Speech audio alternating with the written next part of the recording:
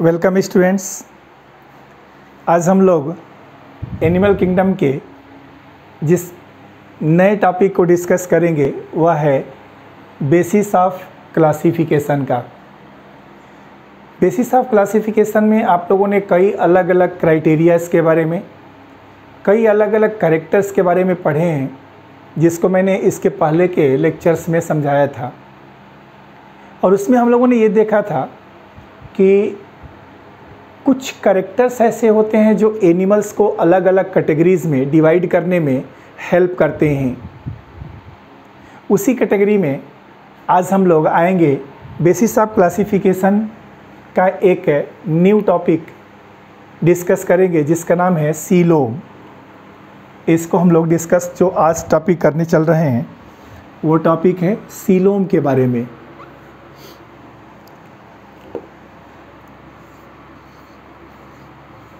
Coelom इस coelom का concept क्या होता है सीलोम होता क्या है इसके बारे में हम लोग डिटेल में अभी समझेंगे और इसको आप देखिएगा भी कि सीलोम क्या होता है तो इसमें एक कॉन्सेप्ट ये आता है कि सीलोम एक बॉडी कैविटी होती है सीलोम के बारे में कि coelom is body cavity derived from derived from mesoderm किससे भाई तो आंसर है मीज़ोडर्म से ये बड़ा इंपॉर्टेंट टर्म है कि किससे ये कैविटी डेराइव्ड होगी तो आंसर मिलेगा आपको मीज़ोडर्म से क्लियर है what is coelom in general general में सिलोम क्या है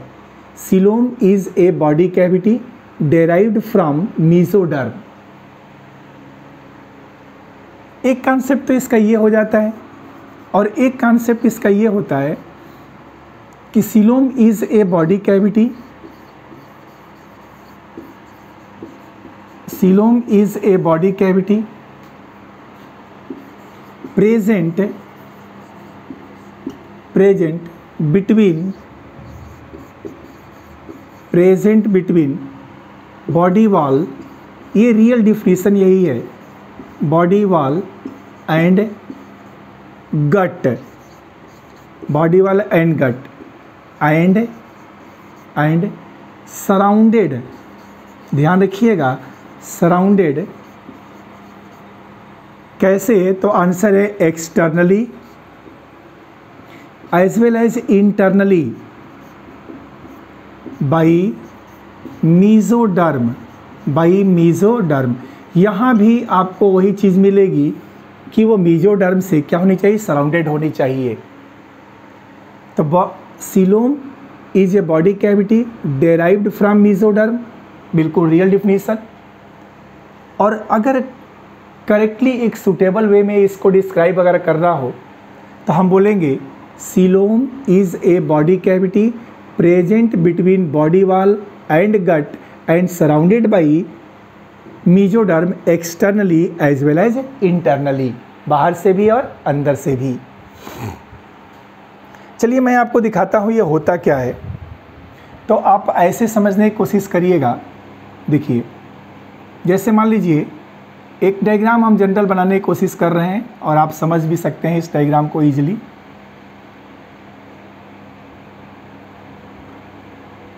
एक ऑर्गेनिज्म है उस ऑर्गेनिज्म की बाहर की तरफ एक बॉडी वाल है ऐसे ठीक है ना देखिए जो अभी मैं बाहर की तरफ ड्रा किया हूँ ये उसकी बॉडी वाल है और एक उसकी ये अंदर की तरफ गट है इसको हम क्या बोलेंगे गट बोलेंगे अब बाहर की तरफ क्या दिखेगा हमें तो आंसर है बॉडी वाल दिखेगा ये बॉडी वाल दिखेगा ठीक है ना और आपको मैं बता दूं कि ये जो बॉडी वाल है इस गट से मिजेंट्रीज के द्वारा जुड़ी होती हैं ये मिजेंट्रीज है मैं नाम लिखता हूँ ये बॉडी वाल है बॉडी वाल ये गट है ये गट हो गई बाहर बॉडी वाल अंदर क्या हुआ गट गट की वाल हो गई ये गट की वाल और दोनों को बॉडी वाल और गट को जोड़ने के लिए बीच में लाइनिंग आप देख रहे हैं इसको मिजेंट्रीज कहा जाता है मिजेंट्रीज ठीक है ना दिस इज मिजेंट्रीज अब आप ध्यान से देखिए ये बॉडी वाला और ये गट दोनों के बीच में खाली स्पेस आपको दिख रहा है ये वाला खाली स्पेस अब ये खाली स्पेस जो है एक मेम्ब्रेन से घिरा रहेगा ऐसे ये खाली स्पेस एक मेम्ब्रेन से घिरा है आपको ऐसे याद रखना है कि बाहर से भी घिरा है और अंदर से भी ये बाहर से भी घिरा है और अंदर से भी घिरा है तो वैसा ही यहाँ भी होगा अब देखिए इसको जो मैं ड्रा कर रहा हूँ ठीक है ना तो एक बाहर बॉडी वाल हो गई एक अंदर गट हो गया अब बॉडी वाल और गट के बीच की ये खाली जगह है ये वाली खाली जगह है इस खाली जगह में बाहर भी मिजोडर्म है अंदर भी इन मिजोडर्म है तो इसी खाली जगह को इस कैविटी को हम लोग सीलोम नाम देते हैं this is known as coelom और अब देखिए इसके बाहर भी मीज़ोडर्म और अंदर भी क्या हुआ मीज़ोडर्म हुआ एकदम बिल्कुल क्लियर आपके दिमाग में ये तस्वीर बैठ गई होगी कि वट इज़ सीलोम आप ऐसे मेरे समझिए मेरी बॉडी को देखिए हमारे बॉडी का बाहरी हिस्सा जो भी आप देख रहे हैं वो क्या है आंसर है बॉडी वाल है और माउथ से लेकर के एनस तक क्या हो गया गट हो गया तो हमारे बॉडी के सेंटर में जो गट है और बाहर बॉडी वाल है इन दोनों के बीच में कुछ खाली जगहें हैं और उस खाली जगह की करेक्टरिस्टिक्स है कि वो बाहर से भी मतलब बॉडी वाल के साइड से भी और गट के साइड से भी एलिमेंट्री कैनाल के साइड से भी डर्म से सराउंडेड है तो बॉडी वाल बॉडी वाल और गट सेंटर में गट ऐसे मान लीजिए ये बॉडी वाल हो गई और ये गट हो गया तो इन दोनों के बीच में आपको एक खाली जगह दिख रही है इस खाली जगह में इधर भी मीजोडर्म है इधर भी मीजोडर्म है तो मीजोडर्म से सराउंडेड ये जो कैविटी है इसका नाम क्या है सीलोम होता है आप जल्दी से इन दोनों डिफिनीशंस को लिख लीजिए कि the body cavity derived from mesoderm is known as coelom एक पॉइंट और दूसरा पॉइंट क्या कहता है दूसरा पॉइंट बहुत सिंपल वे में इसको समझाने की कोशिश कर रहा है कि एक ऐसी बॉडी कैविटी है जो बॉडी कैविटी बॉडी वाल और गट के बीच में है तो स्टूडेंट्स आपने देखा कि हम जिस सीलोम के बारे में डिस्कस करना चाह रहे थे वो सीलोम आप समझ सके कि बॉडी कैविटी है मीजोडर्म से सराउंडेड है कैसे इसको आप पहचानेंगे तो आपको पहचानने के लिए बहुत अच्छा तरीका मैंने समझाया कि गट देखिए बॉडी वाल देखिए दोनों के बीच की खाली जगह को आप देख लीजिए जो बाहर अंदर दोनों तरफ मीजोडर्म से सराउंडेड है इसी खाली जगह का नाम सिलोम होता है इससे बहुत ज़्यादा विसरल आर्गन्स पाए जाते हैं इसके अंदर चलिए ये सिलोम अगर आपको समझ में आ गया तो मैं आपको इसके आगे ले चलता हूँ और मैं आपको बताने की कोशिश करता हूँ कि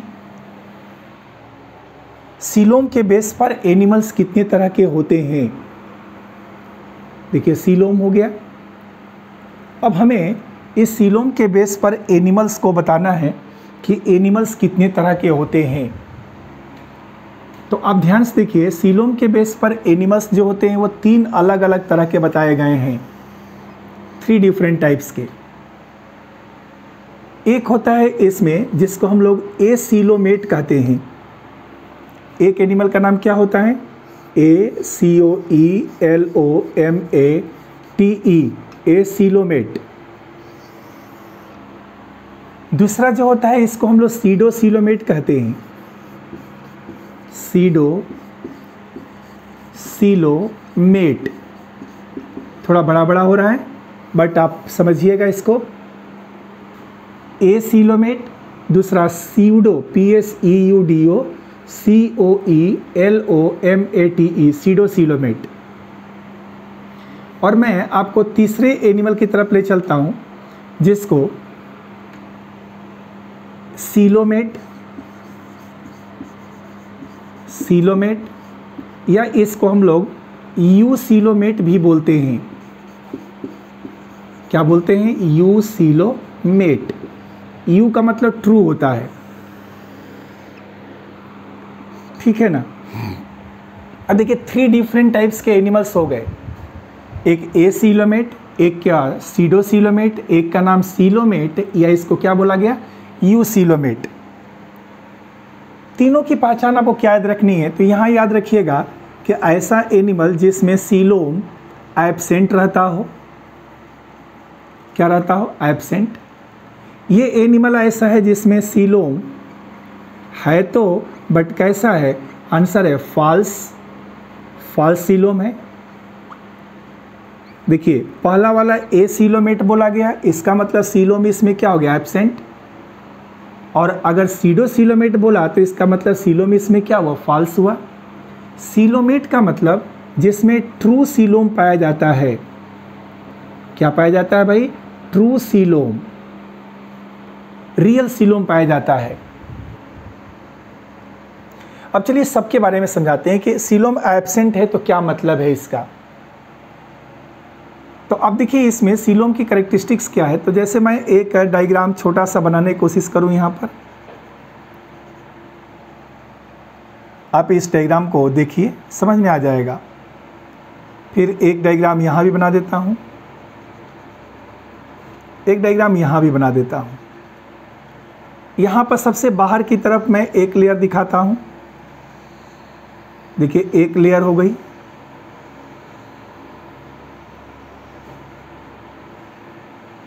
क्लियर एक लेयर यहाँ भी मैं दिखा देता हूँ और एक लेयर यहाँ दिखा देता हूँ ठीक है ना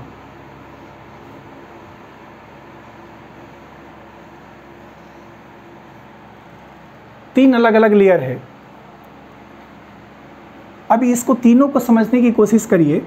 सबसे बाहर ये जो होगा एक्टोडर्म का होगा दूसरा मीजोडर्म का होगा तीसरा इंडोडर्म का होगा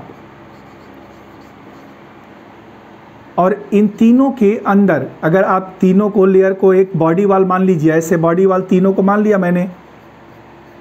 ये तीनों क्या हो गई बॉडी वाल हो गई ये तीनों मिलकर के बॉडी वाल बना ले गया और अंदर की तरफ एक कैविटी है अंदर की तरफ क्या है कैविटी तो अब देखिए इसमें बॉडी वाल के सीधे अंदर क्या हो गई कैविटी हो गई इसलिए इसमें सीलोम तो नहीं पाया गया सीलोम कब पाया जाता जब बाहर बॉडी वाल होती अंदर गट होता दोनों के बीच में जगह होती और ये मीजोडर्म इसको क्या करता लाइंड करता बाहर से भी और अंदर से भी तो ये एक्टोडर्म मीजोडर्म इंडोडर्म तीनों हो गया बॉडी कैविटी हो गई तो इस तरह के करेक्ट्रिस्टिक्स वाले जीवों में हम लोग देखते हैं कि सीलोम नहीं पाया जाता कहीं कहीं तो ऐसा भी होता है मैं आपको बताऊं जैसे आप एक डायग्राम को ये भी देख लीजिए ये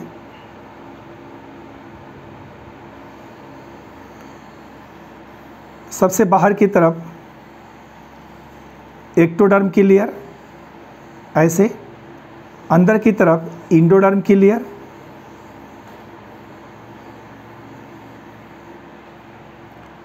और बीच में ऐसे मीजोग्लिया बीच में क्या हुआ मीजोग्लिया यहाँ मीजोडर्म है ही नहीं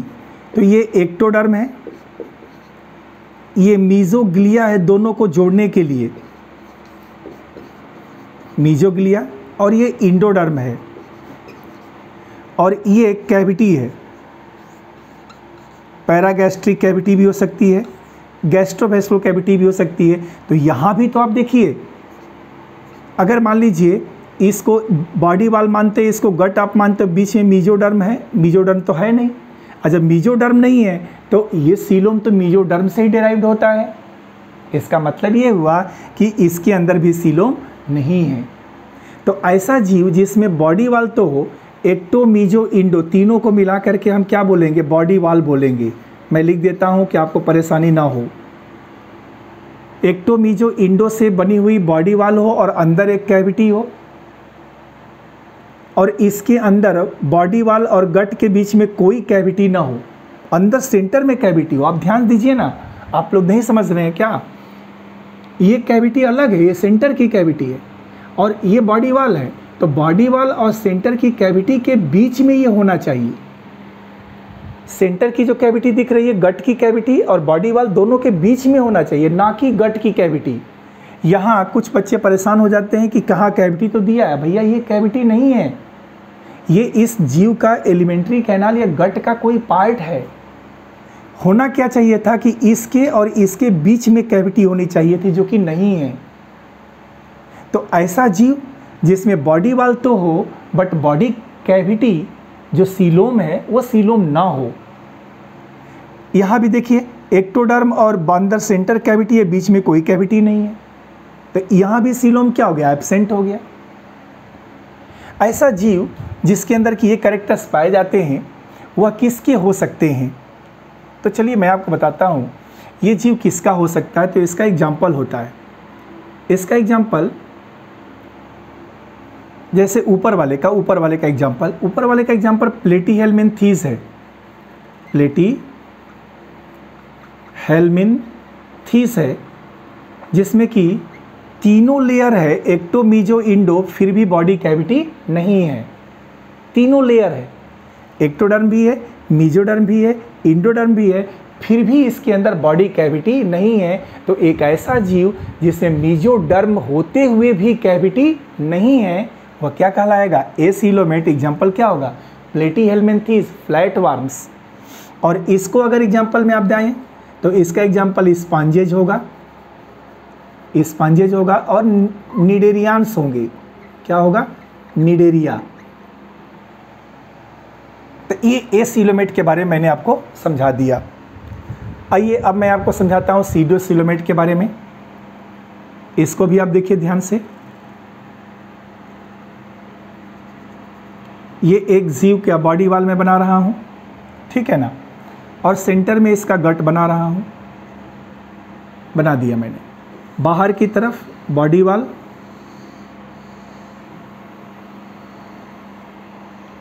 अब ध्यान से देखना है इसमें ये बॉडी वाल और ये गट वाल एलिमेंट्री कैनाल की गट वाल और दोनों के बीच में खाली जगह है है यहां पर तो अब मैं लिख देता हूं ये बॉडी वाल ठीक है ना और ये गट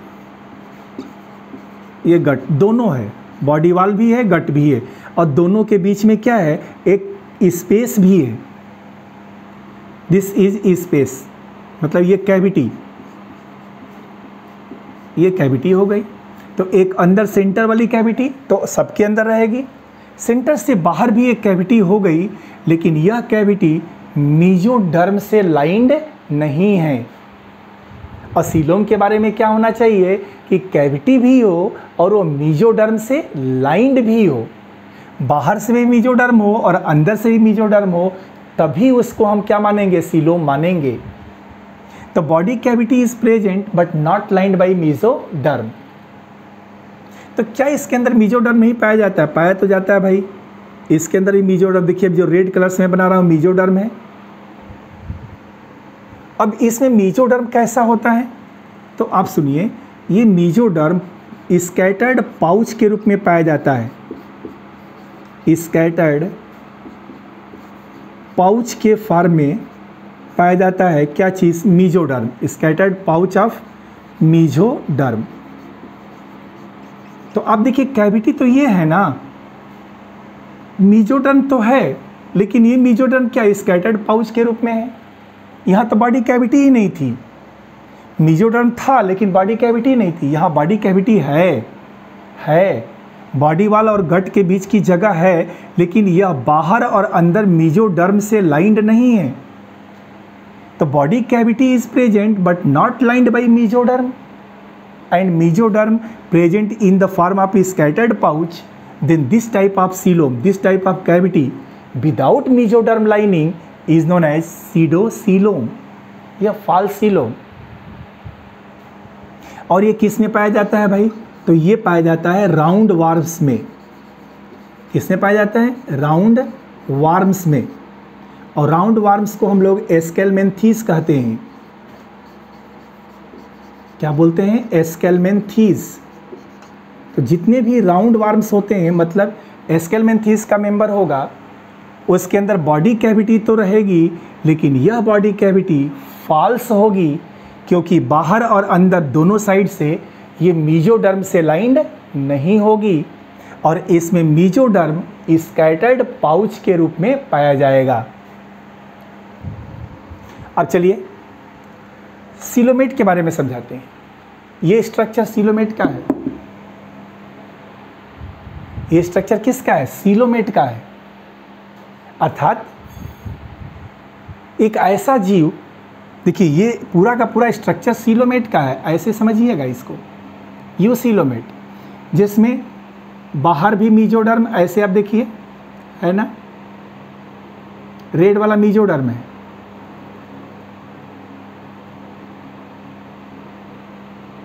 क्लियर तो देखिए बाहर बॉडी वाल हो गई अंदर गट हो गया अब बॉडी वाल और गट के बीच में क्या हुआ स्पेस हो गया खाली जगह इसी खाली जगह को हम क्या बोल रहे हैं सीलोम क्योंकि ये बाहर भी मीजोडर्म से लाइंड है और अंदर भी किससे लाइंड है मीजोडर्म से लाइंड है तो एक ऐसा जीव जिसके अंदर बॉडी कैविटी और गट के बीच में एक स्पेस हो और यह स्पेस बाहर और अंदर दोनों साइड मीजोडर्म से लाइंड हो तो इसका नाम ट्रू सीलोम होगा ये ट्रू सीलोम वाले जीव दो तरह के होते हैं एक साइजो सीलोम साइजो सीलोम और एक सीलोम क्या होगा एक सीलोम और एक सीलोम ठीक है ना सीलोम का मतलब ये होता है कि ऐसे जीव जिसके अंदर की ये जो कैविटी हो वो मीजोडर्म की स्प्लिटिंग से बनता हो मीजोडर्म की स्प्लिटिंग से बनता हो वो साइजोसिलोमेट हो जाएंगे और जिसमें ये गट की जो इंडोडर्म है इसकी पाउचिंग से बनता हो पाउच से बनता हो वह इंटेरोसिलोम होगा आपको याद रखना है साइजोसिलोम का एग्जाम्पल इसका एग्जाम्पल क्या होता है भाई तो इसका एग्जाम्पल एनिलीडा एनिलीडा इसका एग्जाम्पल आर्थ्रोपोडा और इसका एग्जाम्पल मोलस्का ठीक है ना इसको देखिए आप इकाइनोडर्मेटा में इसका एग्जाम्पल इकाइनोडर्मेटा डरमेटा दूसरा हेमी कार्डेटा हेमी और तीसरा कार्डेटा कार्डेटा अगर हम इवोल्यूशनरी ट्रेंड की ज़रा बात करें स्टूडेंट जल्दी सिंसियरली नहीं समझ पाता है इकाइनोडर्मेटा के रूप में हेमी कार्डेटा के रूप में क्योंकि ये इनवर्टिब्रेट्स हैं फिर भी इसका सीलोम किस में पाया कैसा पाया जाता है इंटेरोसीलोम पाया जाता है तो मैं आपको जो बताने की कोशिश कर रहा हूँ कि इकाइनोडर्मेटा है तो इस कैटेगरी का मतलब इनवर्टिब्रेट्स का फिर भी इसके अंदर सीलोम साइजोसीलोम नहीं होता कैसा सीलोम होता है इंटेरोसीलोम होता है तो अपने इवोल्यूशनरी ट्रेंड को अगर देखा जाए इवोल्यूशन के डेवलपमेंट को तो इवोल्यूशनरी ट्रेंड के अनुसार इकाइनोडर्मेटा मोर क्लोजली रिलेटेड है कार्डेटा से बाकी स्ट्रक्चर में देखें करेक्टर में देखें फंक्शन में देखें तो ये किससे रिलेटेड होगा इनवर्टिब्रेट से नॉन कार्डेट से तो इकाइनोडर्मेटा पर आपको फोकस रखना होगा क्योंकि ये है तो इनवर्टिब्रेट्स फिर भी इसका सीलोम कैसा होता है इंटेरोसीलोम अगर इतना डिफ्रेंसिएशन करने के लिए ना पूछे तो Annelida Arthropoda Mollusca Echinodermata Hemichordata Chordata सबके अंदर कैसा करेक्टर है तो ट्रू सीलोम है and they all are coelomate also known as eucoelomate लेकिन अगर अंतर पूछ दिया तो साइजोसीलोम एनिलिडा आर्थ्रोपोडा मोलस्का और इंटेरोसीलोम इकायोडर्मेटा हेमिकाडेटा और कार्डेटा को तो आप लोग सीलोम के करेक्टर के बेस पर भी हम लोग एनिमल को क्लासिफाई करते हैं और इसको आप देख रहे हैं बहुत ध्यान से इसको देखिए और इसको समझने की कोशिश आप करिए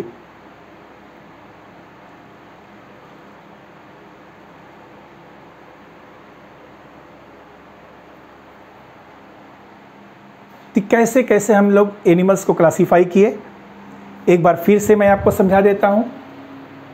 कि coelom is a criteria on which animals are classified coelom एक क्राइटेरिया है जिसके आधार पर हम एनिमल्स को क्लासीफाई करते हैं how the animals are classified the first of all you should know the definition of coelom what is coelom coelom is a body cavity derived from mesoderm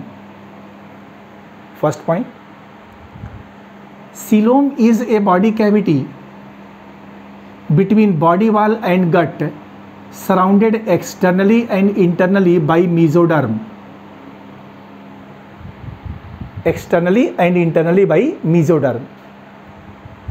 एक ऐसी बॉडी कैविटी एकदम बिल्कुल class ही है class की तरह से इसको आप समझने की कोशिश करेंगे सब कुछ आ जाएगा इजीली एक ऐसी बॉडी कैविटी जो बॉडी वाल और गट के बीच पाई जाती है और बाहर और अंदर दोनों साइड मीजोडर्म से सराउंडेड होती है the body cavity present between body wall and gut surrounded by mesoderm externally as well as internally is known as coelom और इस सीलोम के बेस पर सीलोम के बेस पर animals are classified in three category three category three category acylomate, pseudocylomate and coelomate. Animals are acylomate, pseudocylomate and coelomate. The other name of coelomate is eucoelomate. In acoelomate animal, body cavity is absent, coelom is absent. There is no cavity between body wall and gut. No cavity, no cavity. Body wall is made up of ecto meso and endoderm देखिए in the platyhelminth is flat worms इसमें body wall तो है gut भी है gut भी है लेकिन body wall और गट के बीच में बीच में कोई स्पेस नहीं है इसका मतलब इसमें सीलोम प्रेजेंट नहीं है दूसरे को आप देखिए तो बॉडी वॉल भी है गट भी है दोनों के बीच में भी कैविटी नहीं है दोनों के बीच में बाहर और अंदर दोनों को जोड़ने के लिए मीजोग्लिया प्रेजेंट है तो यहाँ तो खैर मीजोडर्म ही नहीं है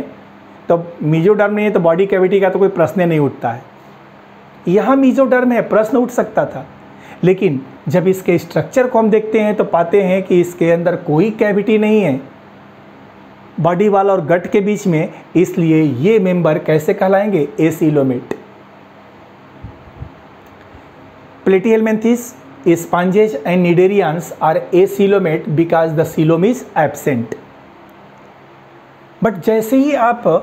दूसरे ग्रुप में आगे बढ़ते हैं प्लेटी एलमेंथीस के आगे बढ़ते हैं हम लोग तो सीडो सीलोमेट का करेक्टर मिलता है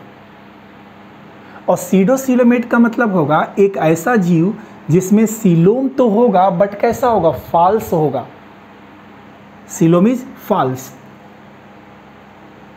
अब कैसे फॉल्स होगा तो आप देखिए ना इसको मैं बता रहा हूँ कैसे बॉडी वाल है बाहर गट है अंदर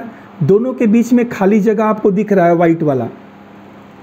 तो ऐसा जीव है जिसके बॉडी वाल और गट के बीच में बॉडी कैविटी तो है बॉडी कैविटी तो है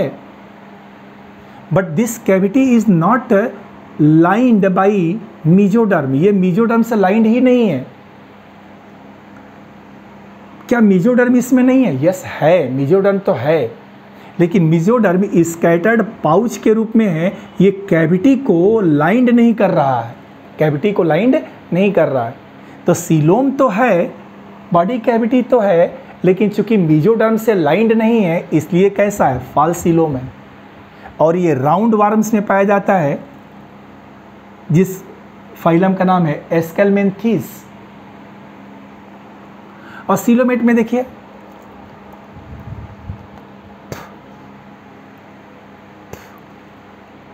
सिलोमेट का मतलब हुआ ट्रू सिलोम क्या है भाई ट्रू सिलोम एक ऐसा जीव जिसके अंदर सिलोम वास्तविक है रियल सिलोम है और रियल सिलोम का मतलब क्या होगा तो बॉडी कैविटी होगी गट होगा दोनों के बीच में स्पेस है है ना बॉडी वाला और गट के बीच में स्पेस है और यह स्पेस बाहर से भी और अंदर से भी मीजोडर्म से लाइंड है देखिए रेड वाला बाहर अंदर दोनों ये बाहर ये अंदर ये बाहर ये अंदर तो the cavity present between body wall and gut mesoderm internally by mesoderm is known as as trusilome और ये ट्रूसिलोम किसके अंदर पाया जाता है तो annelida mollusca arthropoda echinodermata hemichordata chordata लेकिन यहाँ पर मैं आपको थोड़ा एडवांस बता देता हूँ थोड़ा सा आपके नॉलेज के लिए कि ट्रू सीलोम भी दो तरह का होता है एक साइजोसीलोम और एक इंटेरोसीलोम साइजोसीलोम का मतलब किसने पाया जाएगा एनिलिडा में आर्थ्रोपोडा में मोलस्का में और इंटेरोसीलोम बहुत इम्पॉर्टेंट कि इकाइनोडरमेटा का सीलोम साइजो नहीं होता इसमें नहीं आता इसका सीलोम कैसा होता है इंटेरोसीलोम होता है हेमिकार्डेटा का सीलम कैसा होगा इंटेरोसीलोम और कार्डेटा में तो खैर होगा ही होगा तो इस तरह से आपने सीलोम की करेक्टरिस्टिक्स को देखा अगर हमें लिखना पड़े तो कैसे लिखेंगे देखिए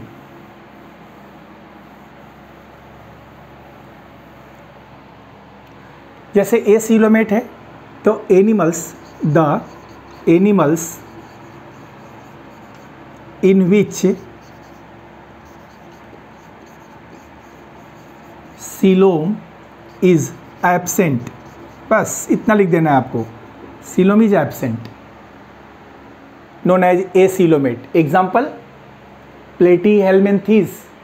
sponges cnidarians ctenophores दिखा था आपने एग्जाम्पल अच्छा चलिए इसके बाद से अगर आपको लिखना हो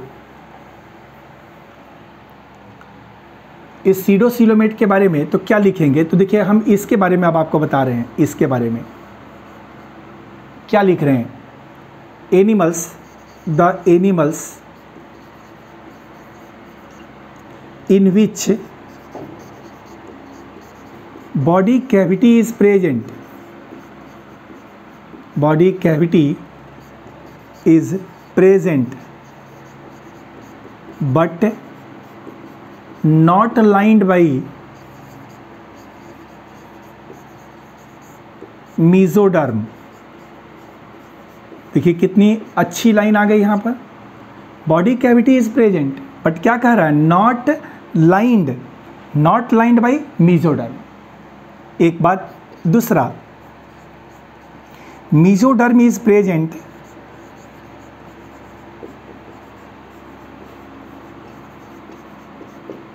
in scattered pouches scattered pouches और मिजोडर्म किस रूप में प्रेजेंट है स्कैटर्ड पाउचेज के रूप में are known as pseudocoelomate example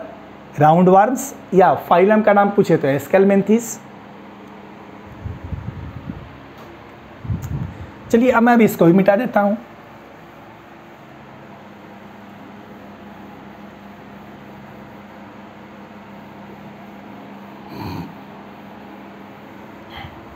और ट्रू सिलोम पर हम लोग आ जाते हैं किस पर आ जाते हैं इस ट्रू सिलोम पर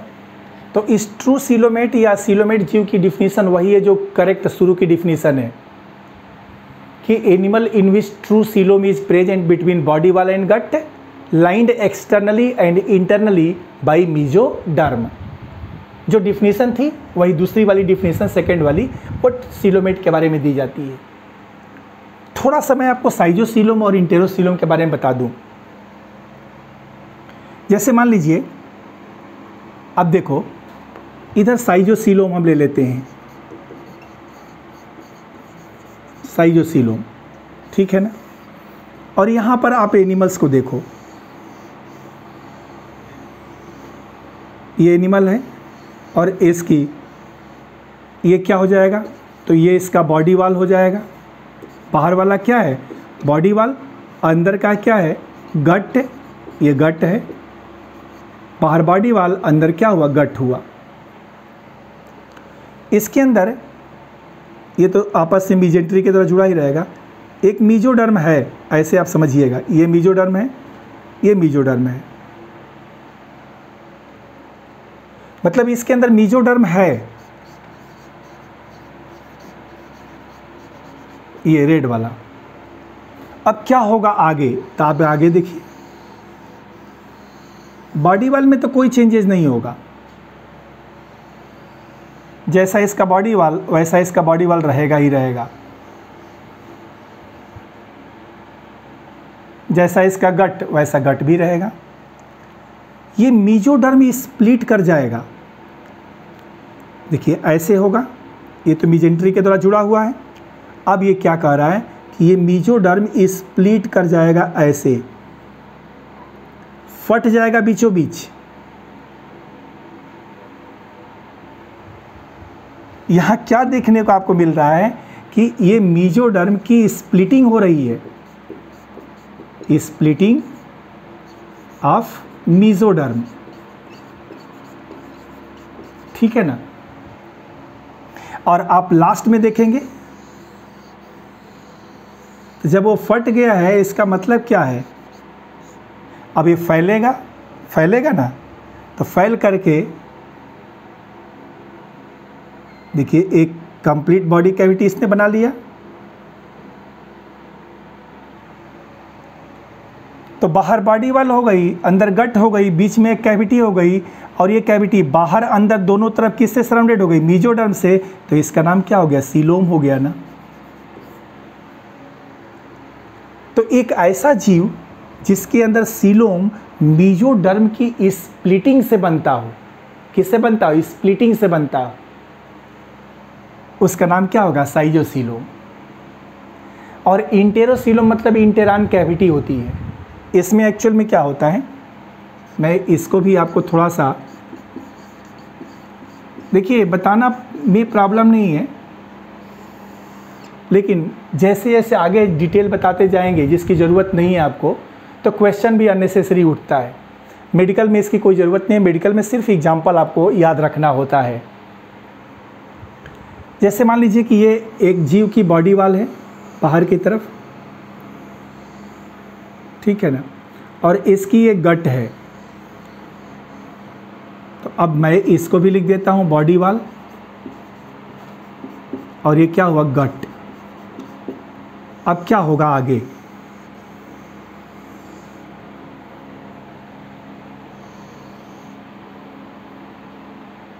सुनिए देखिए ये गट जो होगा ना इसमें पाउच निकलने लगेंगे ऐसे गट में पाउचिंग हो जाएगी ऐसे फैलते फैलते फैलते चला जाएगा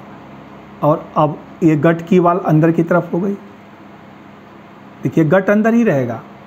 और इसके बाहर ये जो पाउचिंग निकलेगी वो मीजोडर्म की पाउच निकलेगी और ये चारों तरफ से इसको सराउंड कर लेगा तो इसको हम लोग क्या बोलेंगे गट पाउच फिर बाद में ये मीजोडर्म से ऐसे सराउंड कर लेगा पूरा का पूरा इधर वाला ऐसे और इधर वाला इधर आ जाएगा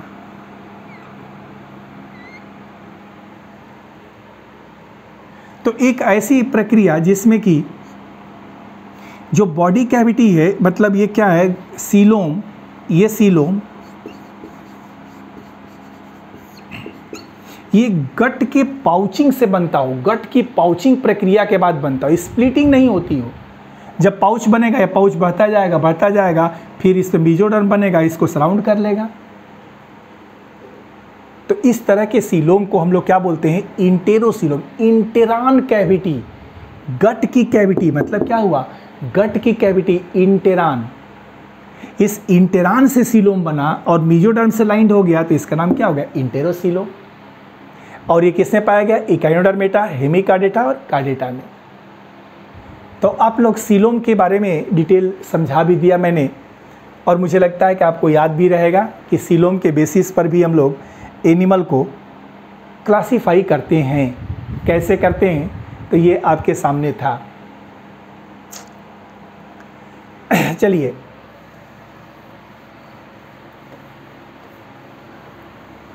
अब हम लोग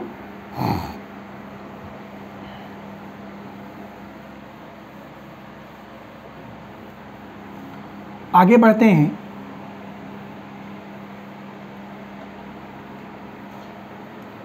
और फिजियोलॉजिकल करेक्टर के बेस पर एनिमल को क्लासिफाई करने की कोशिश करते हैं ध्यान से सुनना है ये सब करेक्टर्स स्ट्रक्चरल करेक्टर्स थे संरचनाओं का डिफरेंस था इसके बाद अब हम लोग आ रहे हैं कि कैसे हम एनिमल को फिजियोलॉजिकल करेक्टर के बेस पर how we classify animals on the basis of physiological characters physiology के करेक्टर्स के बेस पर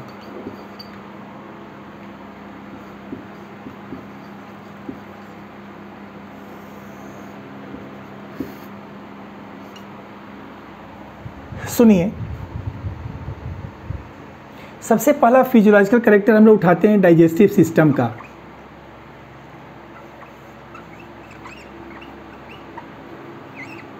डाइजेस्टिव सिस्टम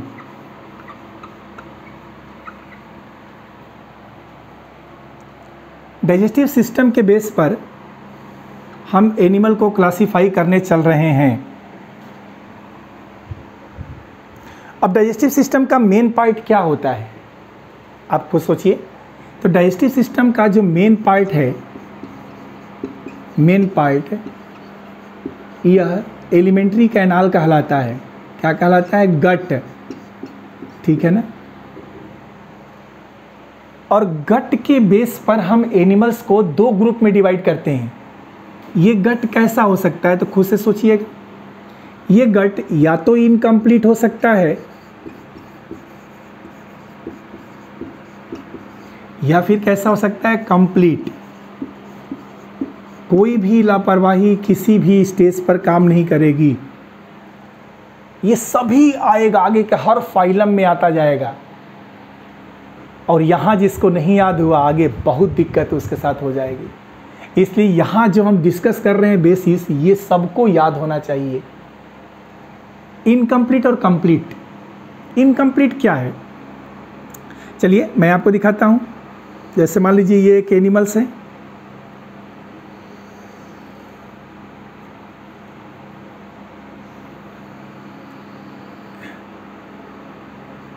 इस एनिमल के अंदर एलिमेंट्री कैनाल है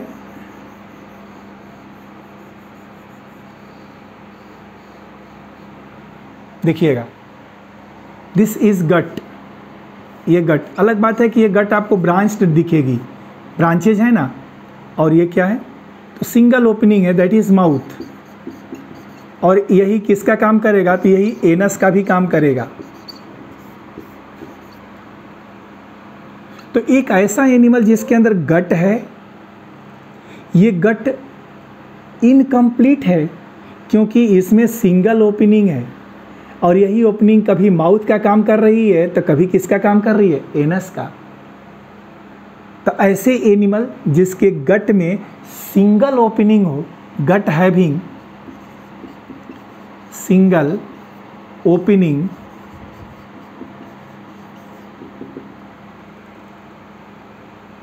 then the gut is known as incomplete gut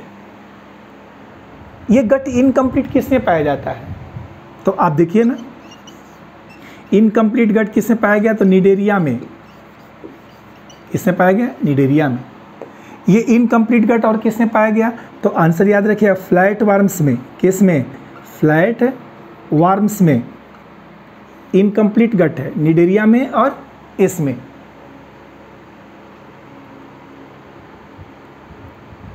मैं आपको दूसरा भी स्टेप समझाता हूं एक एनिमस को ऐसा आप देखिए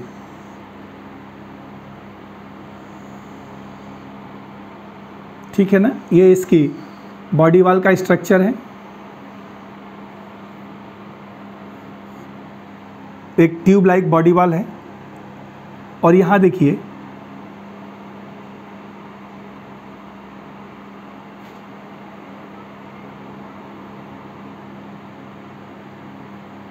ये गट है हाँ। इसका ये क्या हो गया गट ठीक है ना दिस इज गट और एक केस का क्या हुआ माउथ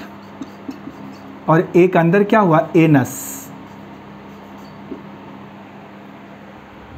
तो एक ऐसा एनिमल जिस एनिमल के अंदर एलिमेंट्री कैनाल हो गट हो और इस गट की कितनी ओपनिंग्स हो तो गट की टू ओपनिंग्स हो एक नहीं बल्कि कितनी हो दो one mouth through which food enter जिसके द्वारा आएगा and other anus through which undigested food released out तो एक सिस्टम तो है ना डाइजेस्टिव सिस्टम जिसमें कुछ एनिमल हमें ऐसे मिलेंगे जिनका गट इनकम्प्लीट होगा कुछ ऐसे मिलेंगे जिनका कंप्लीट होगा जब फाइलम डिस्क्राइब करेंगे तो वहाँ सीधे सीधे दे देंगे कंप्लीट और इनकम्प्लीट गट लेकिन हमें पता होना चाहिए ना कि किस एनिमल में इनकम्प्लीट है और किस एनिमल में क्या है कंप्लीट गट है तो इसमें अगर देखिए तो गट कैसी हुई कंप्लीट कट हो गई और इसका जब कभी एग्जाम्पल आपको लिखना होगा तो इसके बाद फ्लैट वार्म के बाद सभी के सभी नाम दे दीजिए जैसे राउंड वार्म राउंड वार्म से लेकर के टू कार्डेट्स कार्डेट्स जितने भी कार्डेट्स हैं सबके अंदर ये गट कैसी होती है कंप्लीट होती है आइए और आगे बढ़ते हैं हम थोड़ा डाइजेस्टिव सिस्टम में एक फिजियोलॉजी होती है जिसको हम लोग डाइजेशन बोलते हैं क्या बोलते हैं डाइजेशन डाइजेशन ठीक है ना और इस डाइजेशन के बेस पर भी एनिमल दो तरह के होते हैं इसको मैं मिटा दूँ ना हो गया ये गट आप लोग बना लीजिए जिसमें कि गट में सिंगल ओपनिंग दिखाना है मतलब दो ओपनिंग नहीं है तो कैसा होगा इनकम्प्लीट हो गया यहाँ दो ओपनिंग है तो कैसा होगा कंप्लीट हो जाएगा इनकम्प्लीट किस में निडेरिया और फ्लैट वार्म में कंप्लीट राउंड वार्म से लेकर के कार्डेटा तक सबके अंदर कंप्लीट होगा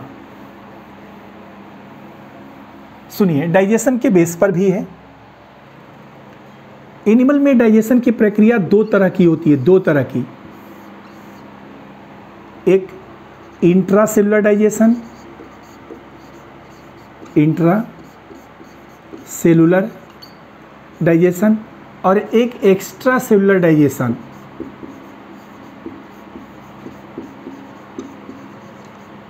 दोनों समझ में आ रहा है आपको इंट्रा सेलुलर और एक्स्ट्रा सेलुलर तो अब यहाँ भी तो एनिमल डिवाइड हो रहा है केवल गट के बेस पर ही कैसे कहे आप यहाँ आप देखिए आप तो समझ में आ जाएगा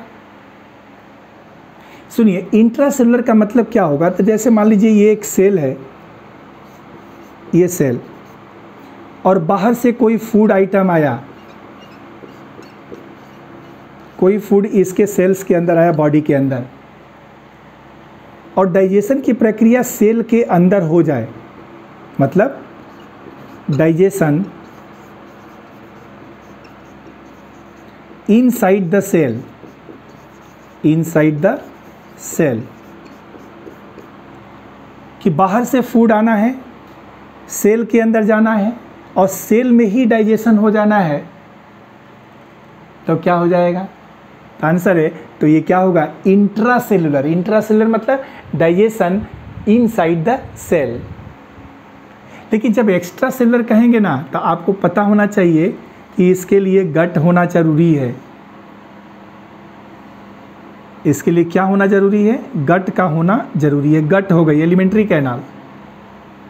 ये गट और बाहर से कोई भी फूड आएगा तो ये फूड इस गट के अंदर आएगा सेल के अंदर नहीं आएगा किसके अंदर गट के अंदर आएगा और इस गट के अंदर इस फूड के अलग अलग लेवल पर डाइजेशन की प्रक्रिया होगी क्या होगा डाइजेशन तो दोनों को अगर आप देखिए ध्यान से तो समझ में आ जाएगा कि अगर डाइजेशन की प्रक्रिया विद इन द सेल होती है तो क्या कहलाएगा इंट्रासेलुलर और outside the cell outside the cell in the gut in the gut in the gut digestion outside the cell in the gut is known as extra cellular और ऐसा digestion किस किस में होता है तो देखिए मैं आपको बताता हूं इंट्रा सेलुलर डाइजेशन जब कभी भी एग्जाम्पल में आएगा तो प्रोटोजोवा किस में होगा प्रोटोजोआ में इंट्रासेलुलर डाइजेस्ट यहाँ एक एग्जाम्पल मैं आपको समझाऊँ निडेरियान का आता है किसका आता है निडेरिया ठीक है ना एक आएगा निडेरिया की विशेषता क्या होती है तो उसके अंदर हाफ एक्स्ट्रा सेलुलर और हाफ इंट्रा सेलुलर होता है दोनों होता है निडेरियांस में मतलब partly extra cellular extra cellular और पार्टली इंट्रा सेलुलर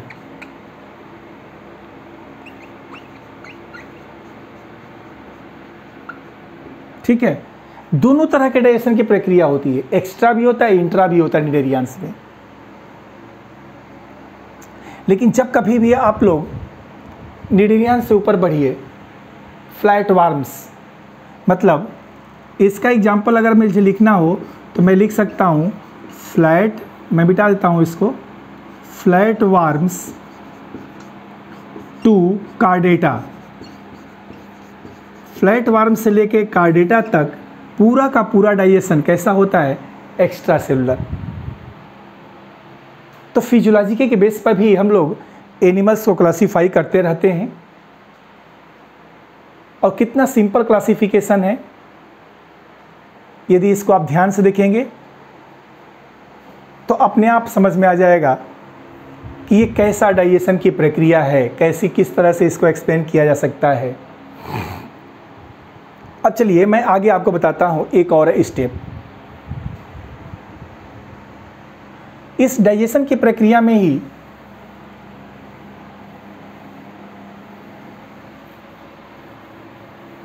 कई अलग अलग स्टेजेज हमारे सामने आती हैं फिजियोलॉजिकल करेक्टर है तो आपको पता होना चाहिए क्योंकि पहला फिजियोलॉजिकल करेक्टर हम लोग यही लिखते हैं जीवों में अब मोड होता है इनके मोड ऑफ न्यूट्रिशन ठीक है ना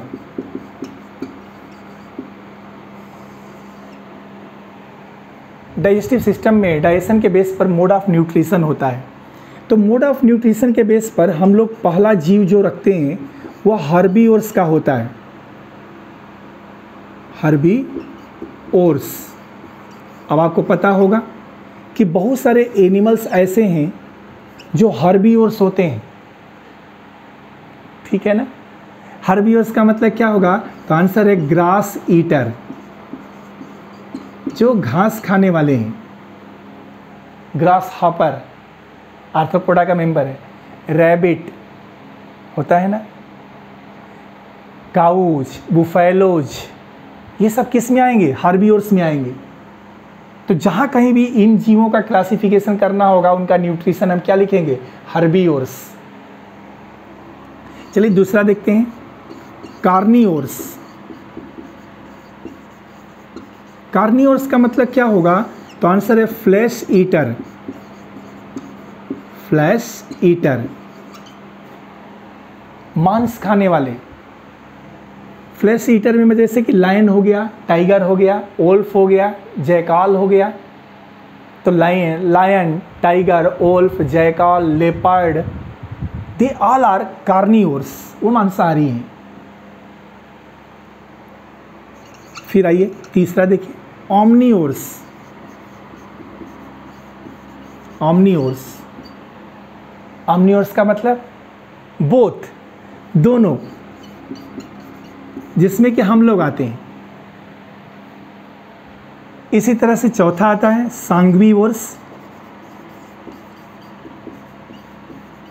सांगवी वर्ष ब्लड फीड करने वाला लीच एनिलिडा एनसीआईटी में लिखा है ये क्या होता है भाई तो आंसर है ब्लड फीडर जो ब्लड को फीड करने वाले हैं कहने का मतलब आता है कि जब एक फिजियोलॉजी को आप डिस्क्राइब करेंगे तो उस फिजियोलॉजी में कई ऐसे करेक्टर्स मिलेंगे जिन करेक्टर्स के बेस पर एनिमल को